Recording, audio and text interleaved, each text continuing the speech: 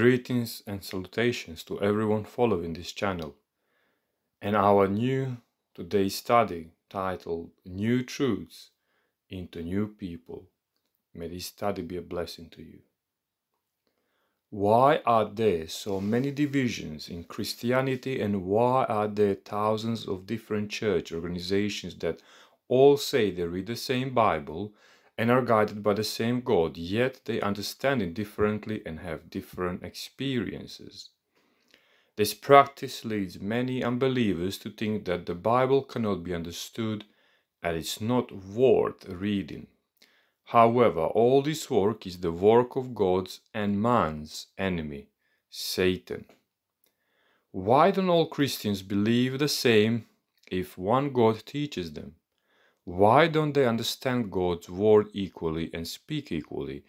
And yet they all say they have Christ in them, and so the mind of Christ.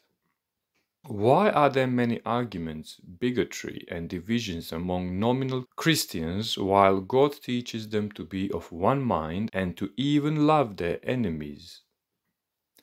All this is the work of God's and man's enemy, Satan. Apostle Paul writes, Now I beseech you, brethren, by the name of our Lord Jesus Christ, that ye all speak the same thing, and that there be no divisions among you, but that ye be perfectly joined together in the same mind, and in the same judgment. For it had been declared unto me of you, my brethren, by them which are of the house of Chloe, that there are contentions among you. Now this I say, that every one of you said, I am of Paul, and I am of Apollos, and I am of Cephas, and I am of Christ. Is Christ divided? Was Paul crucified for you? Or were ye baptized in the name of Paul?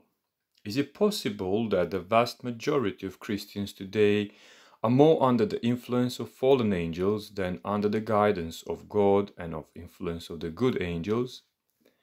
Is it possible that only rare individuals have the mind of Christ and that they experience the new birth of Christ, the second Adam, and became the temple of Christ's Spirit? The Holy Scriptures confirm that this is exactly so. And Jesus said, Enter ye at the strait gate, for wide is the gate, and broad is the way that leadeth to destruction, and many there be which go in thereat because strait is the gate and narrow is the way which leadeth unto life, and few there be that find it. An unbiblical religion consisting of human customs and traditions and no new birth is the religion of the majority and is represented in the scriptures as a broad way and a wide gate through which many go.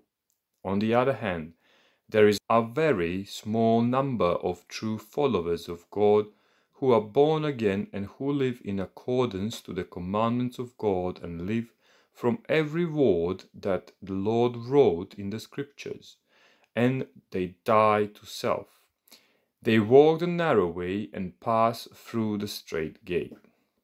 God's people at all times represented a small group of newborn believers and a minority in comparison to the rest of the world, and for this reason they are described in scriptures as a remnant.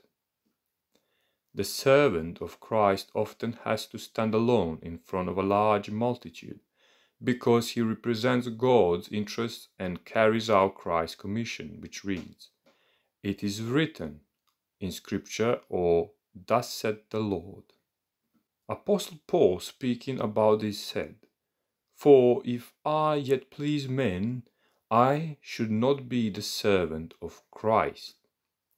However, despite the facts, Satan succeeded to spread the idea that popular churches, in which the vast majority of believers are found and who follow the broad way on which God's commandments are broken, are the ones that are true, while the small remnant that keeps God's commandments and the faith of Jesus is a sect. God has always had a group of believers who represented his remnant. They understood God's will and lived according to it, and they understood the truth for their time, because the Spirit of truth guided them into every truth from the Word of God. And we live in a time when this verse is to be fulfilled. And he reads, And the dragon was wroth with the woman, and went to make war with the remnant of her seed, which keep the commandments of God and have the testimony of Jesus Christ. What is the testimony of Jesus Christ? Worship God, for the testimony of Jesus is the spirit of prophecy. We also have another translation says, Worship thou God, for the witnessing of Jesus is the spirit of prophecy. The true people of God will keep the commandments of God and have the spirit of prophecy or spirit of witnessing within them. What is the way to become God's remnant and to be a people who will understand and live according to the truth? The solution is not I, but Christ in me. Agape love and war in heaven the first being in heaven to rebel against God's selfless and self sacrificing love, which is revealed in God's law, was Satan. For him, the idea that love does not glorify itself, does not puff up, does not seek its own, does not get angry, and endures everything, was too limiting. He rebelled against that love and decided to introduce a new law of self love. Since his fall, he has not stopped fighting against God's self sacrificing love. Since the fall into sin, our natural state is that we are children of wrath and tend to defend and worship our ego. The state of man without Christ is, but the wicked are like the troubled sea, when it cannot rest, whose waters cast up mire and dirt. There is no peace, said the Lord, to the wicked. Sin has destroyed our peace. Until the self submits, we cannot find peace. No human power can restrain the passions that rule the heart. We are as helpless here as the disciples in the silence in the raging tempest how to reach peace and preserve it. As Jesus rested by faith in the care of the Father, so we should rest in the care of our Saviour. If the disciples had trusted him, they would have kept their peace. He who commanded the great waves of Galilee to be still spoke the word of peace to every soul. No matter how fierce the storm, those who turn to Jesus with a cry, Lord, deliver us, will receive liberation. His mercy silences the storm of human passions, and in His love the heart finds peace. And how to reach peace? Romans 5:1 Therefore, being justified by faith, we have peace with God through our Lord Jesus Christ. And the work of righteousness shall be peace, and the effect of righteousness, quietness, and assurance forever. Christ's presence in us will bring heavenly peace to our soul. Our fickle and unreliable love is the only love we can give and show on our own. That is why Jesus, through the experience of new birth, wants to give us his agape love through his Spirit, so to set us free from worshipping self and to glorify Himself through His people. If we want to reach that lofty ideal, everything that causes the soul to stumble must be sacrificed. Sin uses our will to keep us in its power. The submission of the will is represented in Bible by plucking out an eye or cutting off a hand. It often seems to us that submitting our will to God means agreeing to go through life deformed or lamed. But it is better for you, says Christ, to be deformed, wounded, and lame, if that is how you can enter into life. What you consider to be downfall actually leads you to the greater blessing. How can the problem of death be solved, and how can an evil man become good? The only and true way is the way of the cross, i.e., rejection of self, also known as denying self or self denial. And Jesus answered them, saying, The hour is come that the Son of Man should be glorified. Verily, verily, I say unto you, except a corn of wheat fall into the ground and die, it abideth alone. But if it die, it bringeth forth much fruit. He that loveth his life shall lose it, and he that hateth his life in this world shall keep it unto life eternal. And I, if I be lifted up from the earth, will draw all men unto me. This he said, signifying what death he should die. Denying self and submitting to Christ is the way to holiness. John the Baptist said for Christ, He must increase, but I must decrease. Then said Jesus unto his disciples, if any man will come after me, let him deny himself, and take up his cross, and follow me. For whosoever will save his life shall lose it, and whosoever will lose his life for my sake shall find it. The law of self serve is the law of self destruction, and the law of service to others is the law of eternal life. In reference to this, Jesus emphasizes, But so shall it not be among you, but whosoever will be great among you shall be your minister, and whosoever of you will be the chiefest shall be servant of all. For even the Son of Man came not to be ministered unto, but to minister, and to give his life a ransom for many. And Jesus said, but which of you, having a servant ploughing or feeding cattle, will say unto him by and by, when he is come from the field, Go and sit down to meat? And will not rather say unto him, Make ready wherewith I may sup, and gird thyself, and serve me till I have eaten and drunken, and afterward thou shalt eat and drink? Doth he thank that servant because he did the things that were commanded him? I throw not. So likewise ye, when ye shall have done all these things which are commanded you, say, We are unprofitable servants. We have done that which was our duty to do. Unprofitable servants means not relying on our works, but allowing Christ to live in us and glorifying Him alone, which is destructive to our ego.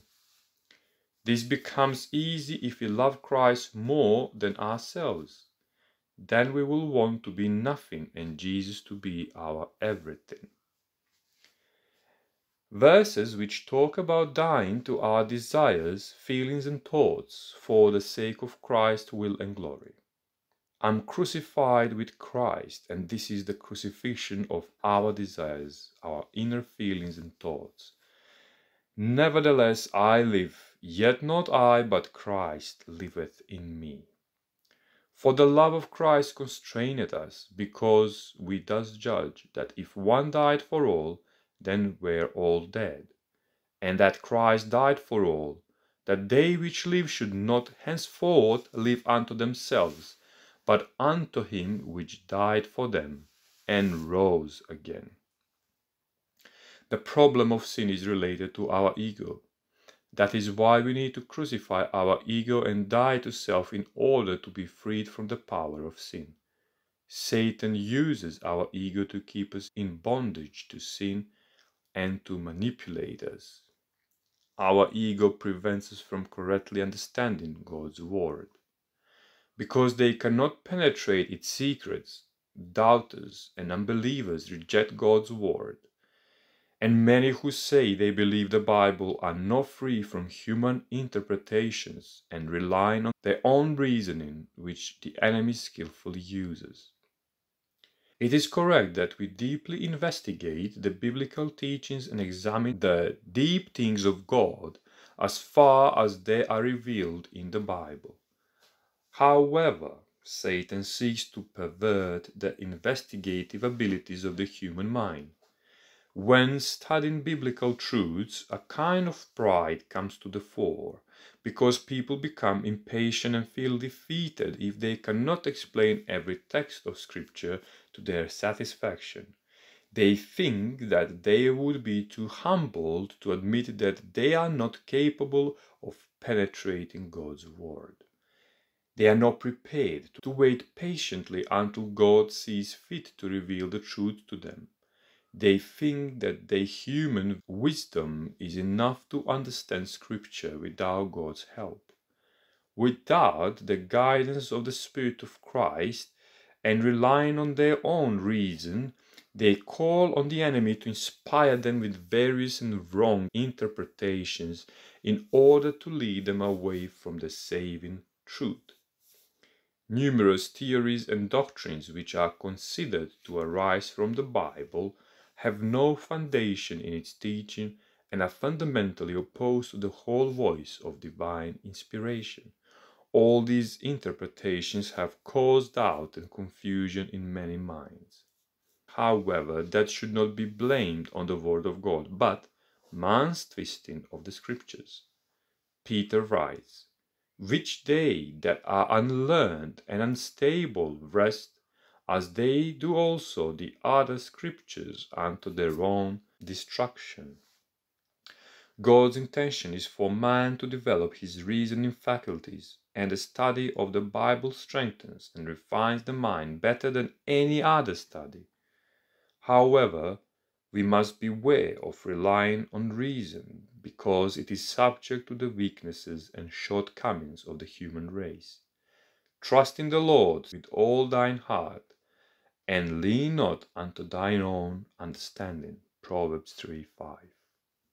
If we do not want the scriptures to be incomprehensible to us, so that we can understand even the clearest truths, we must have the simplicity and faith of a little child and be ready to learn and pray fervently for the help of the Spirit of Christ.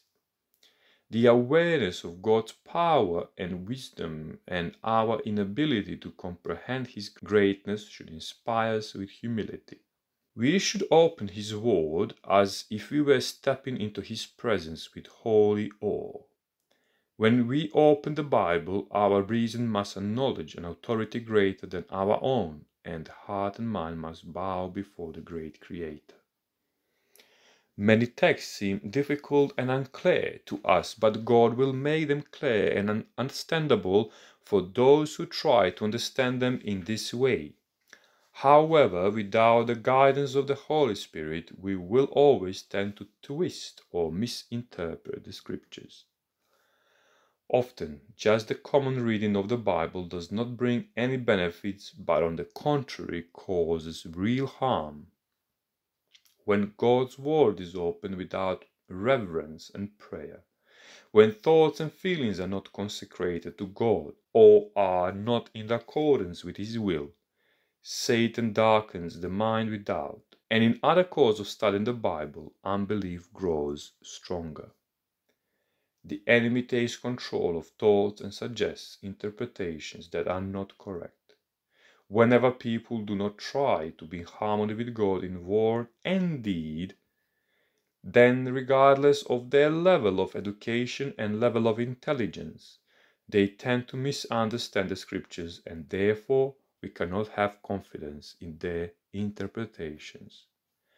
Those who search the scriptures to find contradictions or prove their point of view are not guided by God, and such a distorted view invites the enemy and will lead them to find reason for doubt and unbelief even in that which is quite plain and simple.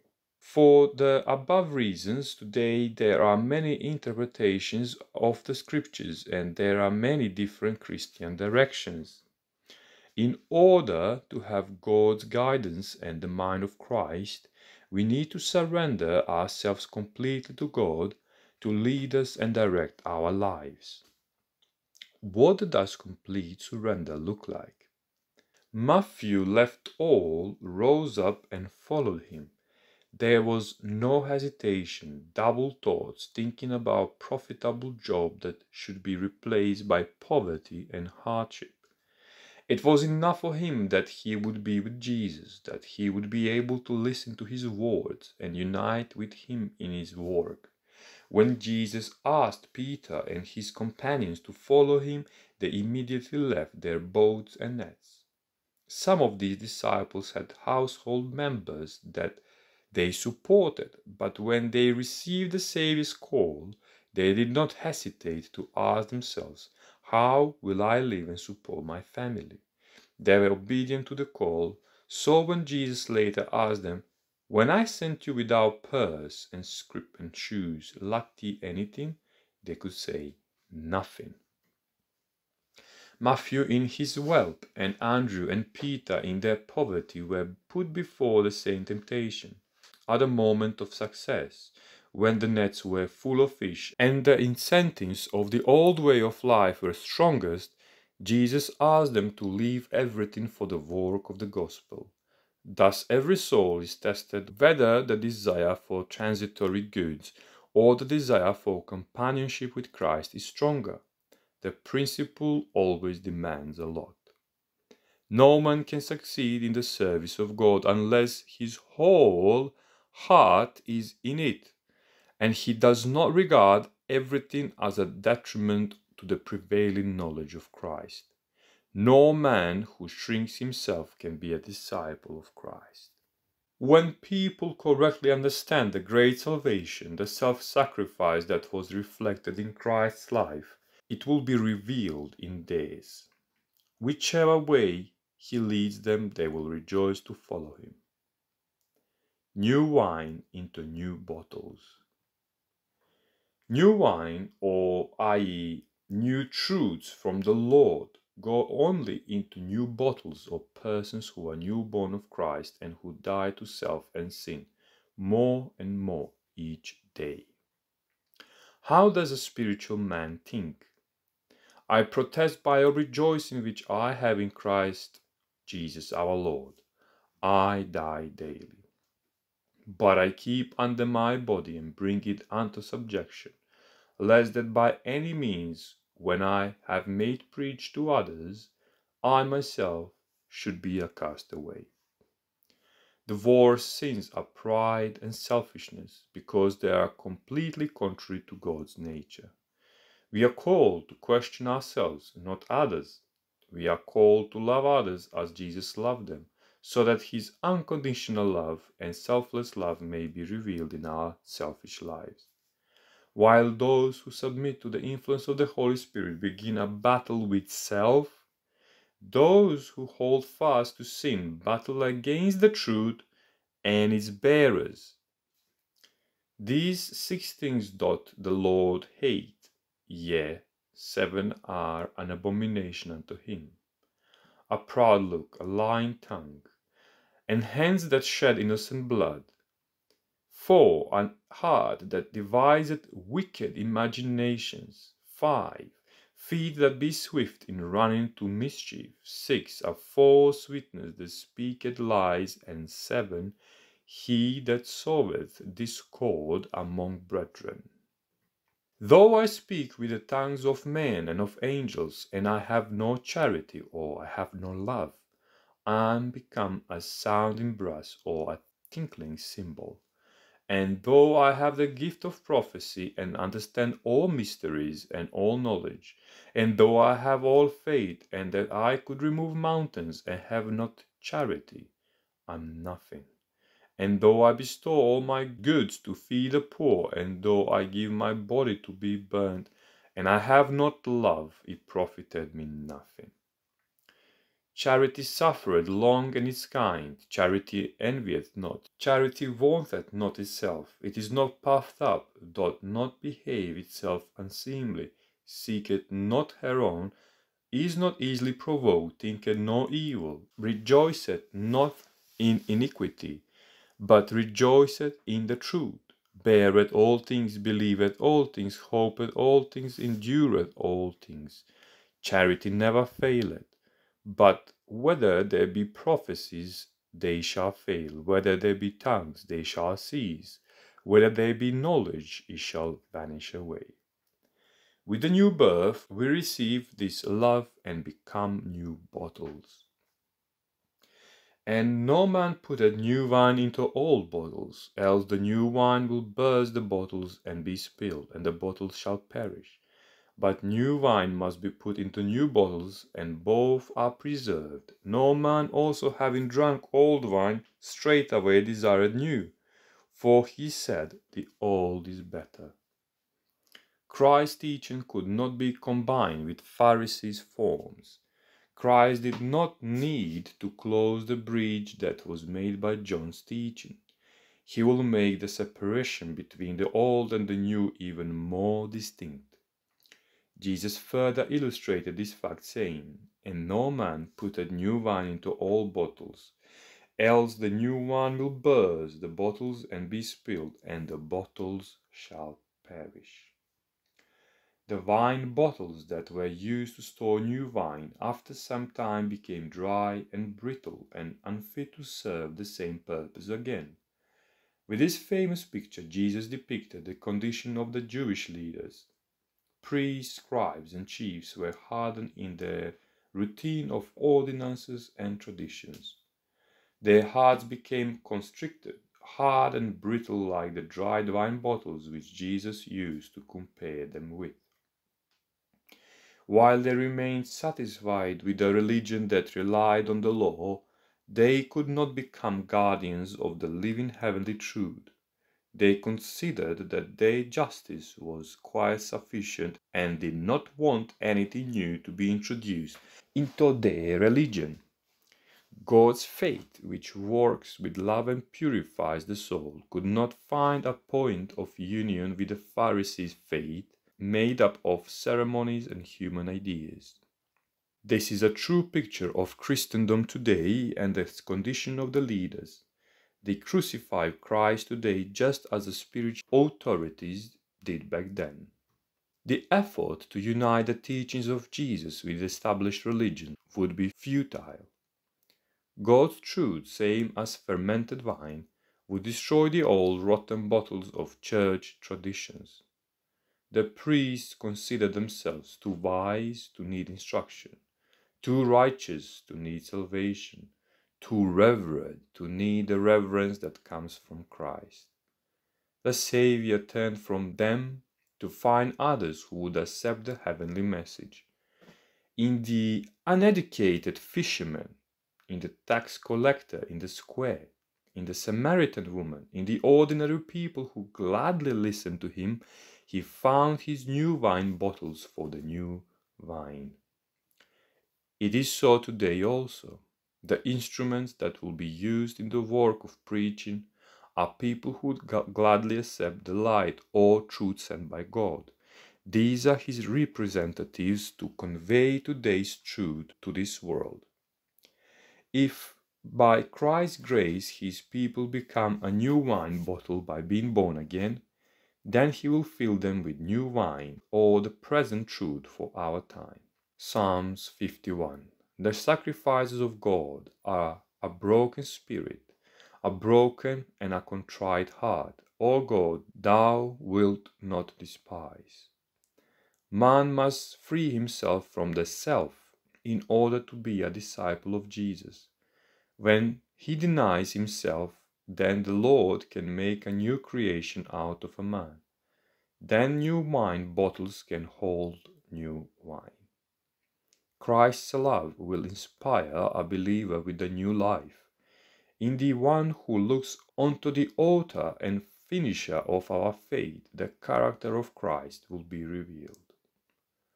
Christ's teaching, though represented by the new wine, was not a new teaching, but a revelation of what had been taught from the beginning.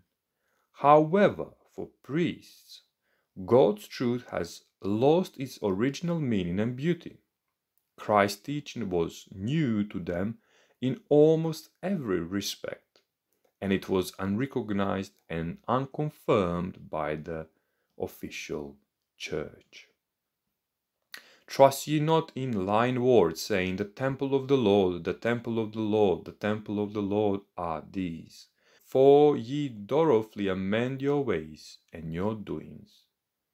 The teachings of the churches prevent people from seeing God's truth. Many believers associate themselves and their experience with God with the church. They will always reject Christ and his teachings unless their church believes or rejects it. Thus, the enemy keeps them at a distance from Christ and his saving truth. The Lord said, Ye shall know the truth, and the truth shall make you free. Jesus emphasized the power of false teaching to destroy respect for the truth. No man, said he, also having drunk old wine, straightway desired new, for he said, The old is better. The truth that was given to the world through patriarchs and prophets shone with new beauty in the words of Christ. However, the priests had no desire for the precious new wine. Until they are emptied of all traditions, customs, and habits, there is no place in their mind and heart for Christ's teachings. It proved to be a ruin of the Jews, and it will prove to be a ruin of many souls in our time today. Thousands are making the same mistake that the Pharisees, rebuked by Christ, made at the feast at Matthew's. Many reject the truth that comes from the Father of light rather than to reject some cherished idea or renounce some idol in their understanding. They trust in themselves and they rely on their own wisdom without understanding their spiritual poverty. They persistently seek to be saved in some way by which they can accomplish some significant work. When they see that there is no way to weave themselves into that work, they reject the salvation offered. They are ready to exclaim, where am I and my actions in this whole story? However, God's gospel says, Not I, but Christ liveth in me. Legal religion can never bring souls to Christ because it is faith without love, religion without Christ. Participating in worship, performing church ceremonies, external humility, keeping customs, it all influence the one who does all this to consider himself righteous, destined for heaven and better than others, but this is all a deception. Our own works, driven by our own sinful and selfish ego, can never bring us salvation. A proud heart aspires to merit salvation, but our right to heaven and our eligibility for it is based on the righteousness of Christ. The Lord cannot do anything for the restoration of a man until he, being convinced of his own weakness and being freed from all thought that he is sufficient to himself, submits to God's authority. For thus said the high and the lofty one, that inhabited eternity, whose name is holy, I dwell in the high and holy place, with him also that is of a contrite and humble spirit, to revive the spirit of the humble and to revive the heart of the contrite ones. It is not God who blinds people's eyes or hardens their hearts. He sends them light to correct their errors and lead them to the truth. It is only by rejecting the truth or the light that the eyes become blind and the heart hardens. Often this flow is gradual and almost imperceptible light reaches the soul through God's word, through his servants, or through the direct action of his spirit. But when one ray of light is despised, a partial numbing of the spiritual senses occurs, so that the next revelation of light is much more vaguely recognized. Thus the darkness increases until there is night in the soul. God says, but I think or interpret what he said, is an attitude that will surely lead us astray and it opens the door for the enemy to tempt us and inspire us with his thoughts. If any man will do his will, he shall know of the doctrine, whether it be a God or whether I speak of myself. He that speaketh of himself seeketh his own glory. But he that seeketh his glory that sent him, the same is true, and no unrighteousness is in him. Shall we not say with the psalmist, Not unto us, O Lord, not unto us, but unto thy name give glory, for thy mercy and for thy truth's sake. May the Lord bless us and help us in this decision. And until our next fellowship, I wish that you grow spiritually, that the Lord be with you and bless us all equally according to his abundant grace. God bless you.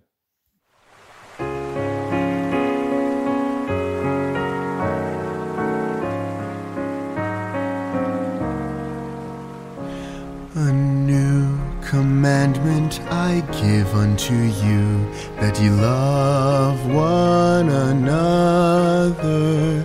Love one another as I have loved you, that ye also love one another.